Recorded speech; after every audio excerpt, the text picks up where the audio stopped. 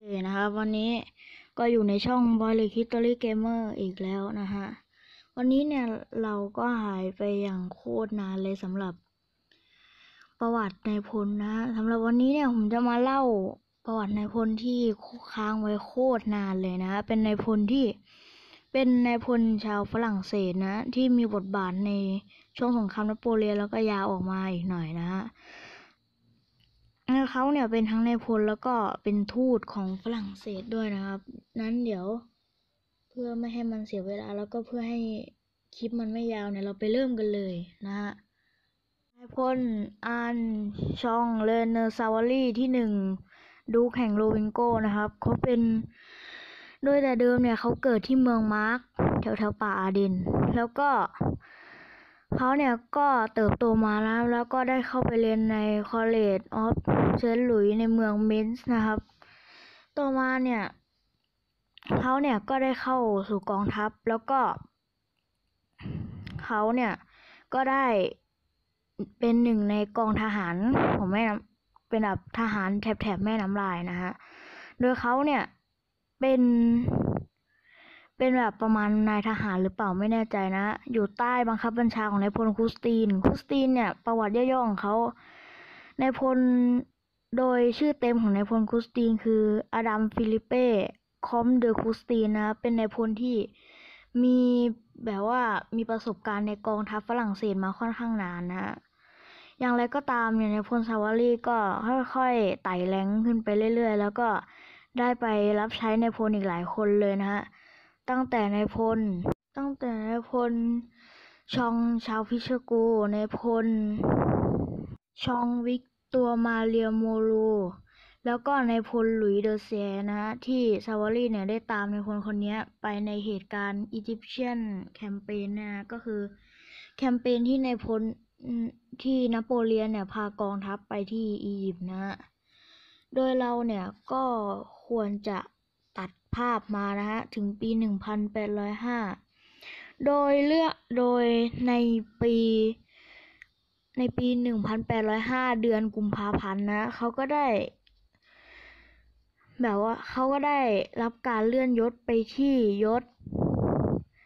General de Division นะ ซึ่งมันก็คือยศพลตรีในปัจจุบันนะ หรือว่า Major General แล้วก็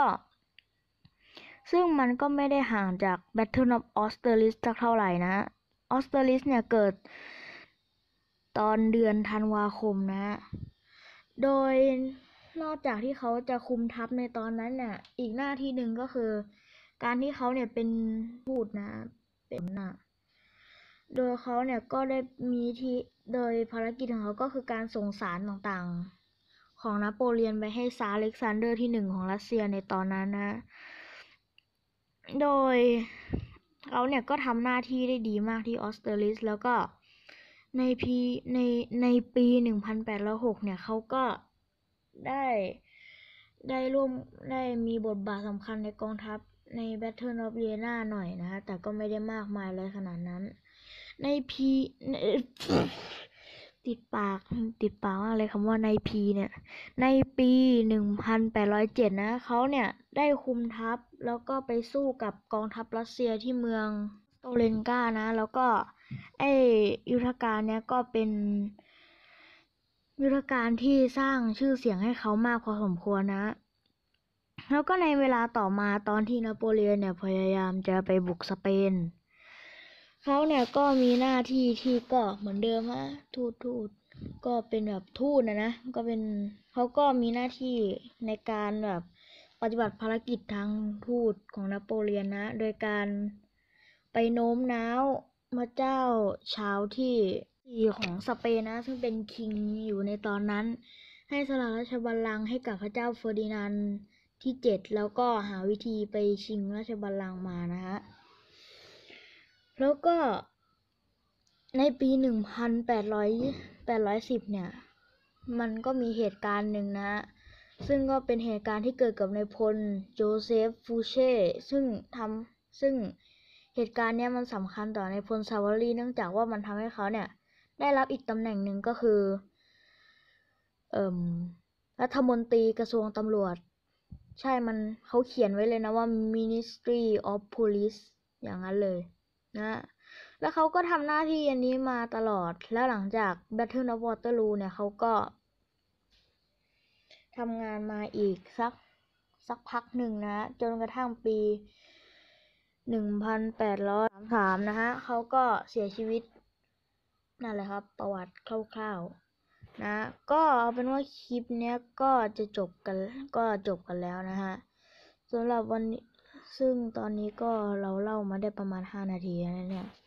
คือตอนแรกเรากะว่ามันจะทำให้แบบ เราจะทำคลิปให้มันดีกว่านี้นะ แต่ว่า มันคือว่าเราก็ใช่คือคือเราครั้งที่แล้วอะเราเล่าเรื่องสงครามครูเสดครั้งที่สามอะเราเขียนสคริปต์นะ แต่ว่าแต่ครับแต่วันนี้เราไม่ได้เขียนสคริปต์เลยก็เลยกลายเป็นว่า ไม่ทำก็เลยกลายเป็นว่าต้องทำอย่างนี้ก่อนก็คือ หยุดคลิปบ้างไปดูข้อมูลบ้างไปอะไรให้มันแบบให้มันให้แบบว่าคลิปมันแบบสมแบบครบถ้วนสมครบแบบครบถ้วนโอเคอะประมาณนั้นอะ แล้วก็วันนี้แหล่งข้อมูลเยอะไหมก็พอสมควรแต่มันแต่มันไม่ได้เยอะอะไรขนาดนั้นนะ ก็สำหรับวันนี้ก็ขอลาไปก่อนนะบายทุกคน